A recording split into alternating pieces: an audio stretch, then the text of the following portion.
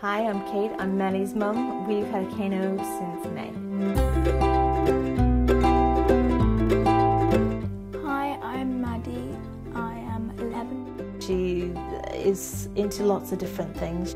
She just likes giving, being given challenges and solving them. That's one of her favourite things is figuring stuff out, even when she doesn't have to. Like most kids, my kids love electronics. I was concerned about how much time they were spending on these things. I wanted something that she could do herself, so something that was teaching her something while she was having fun and being creative and just enjoying it. So we got the Kano. It arrived in the in the post, and they're like, "Is that it? Is that it?" And then I took charge and I was like, come on, let's build it. So we, uh, we unplugged it and we watched the video online of how to build it and then we built it and we all just sat there while all the little little things popped up and it was really cool. I think it's uh, cool that uh, these codes, you can do stuff with them once you've learned them, you can actually use them in real life. At the moment I'm just using them for games.